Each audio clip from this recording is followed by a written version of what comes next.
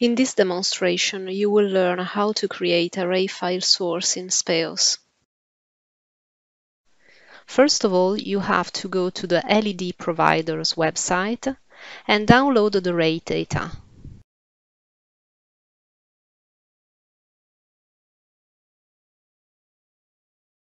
You can choose between the format ESNA TM25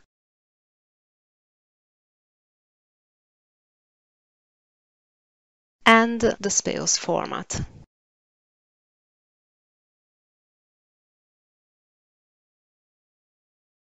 Then you can download the LED CAD for a more correct positioning. Once you downloaded all the data, you can import the LED part inside Speos.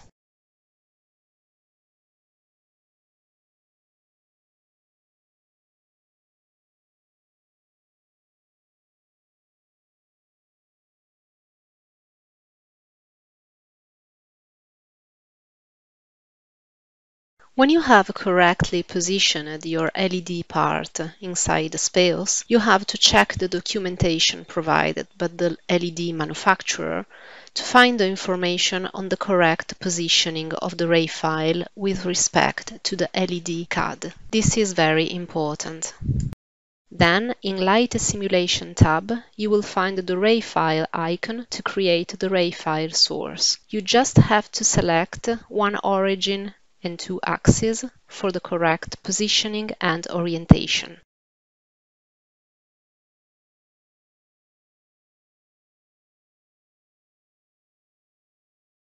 Then you can reverse the directions if necessary. Just check. The z-axis must have the same direction of the light. Then you can import your ray file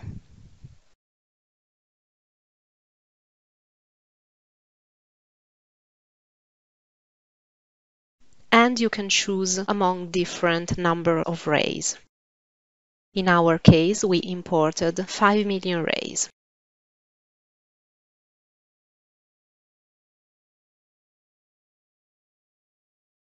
Then you can select the exit geometry by selecting the whole LED part, just to be sure that the rays are starting from this part.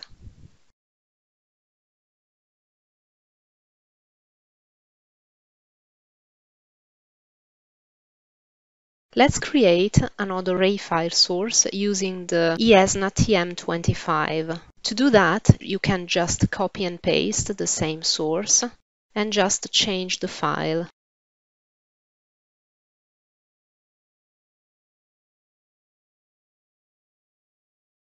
Normally, ESNA TM25 contains more measured rays compared with the normal Speos format. That means that you can launch more accurate simulation. This concludes this demonstration of the creation of a Speos ray file source. Thank you!